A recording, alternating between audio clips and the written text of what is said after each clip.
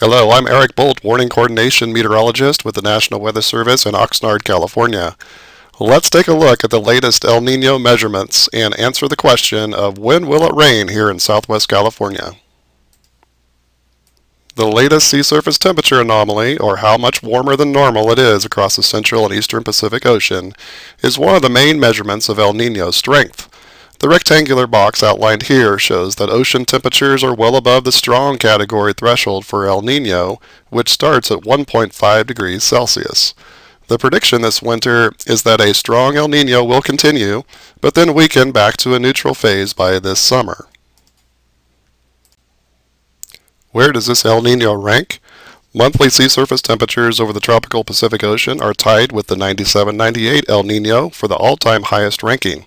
However, other El Nino measurements, which include atmospheric pressure differences between the western and eastern Pacific and sea temperatures well beneath the surface of the ocean, are not as strong as 97-98 or the 82-83 events. You can also see by this graph that El Ninos typically weaken back to neutral conditions near the zero degree line by the summer months. These are the classic El Nino winter impacts across North America.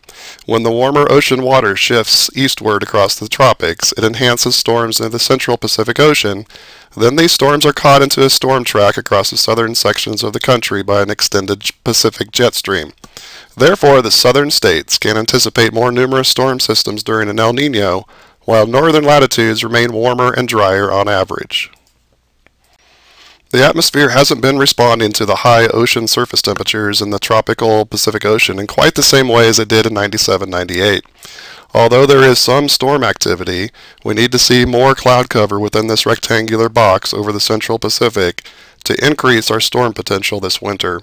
This area will provide a major source for, for moisture and low pressure systems to eventually impact Southern California. Rainfall so far this water year has not been very spectacular across southwest California. This image shows four individual locations with blue bars representing rainfall totals compared to red bars, which indicate a 30-year normal rainfall through early December. Overall, the numbers are fairly small at this point in the season, so deficits can e be easily erased, but we are running a half inch to two inches below normal in most areas. In strong El Ninos of the past, rainfall for downtown Los Angeles has looked like this. Starting October 1st on the left, rainfall is typically increased in late December and January, with some of the largest increases during the month of February.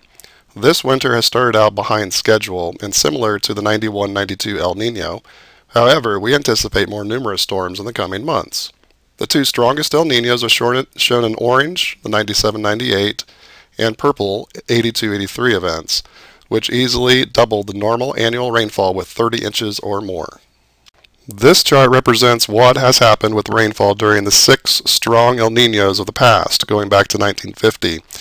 You can see that Southwest California has typically received above normal rainfall in the month of December, below normal rainfall in January, followed by wet conditions for the months of February through May, ranging from 120 to 200% of normal.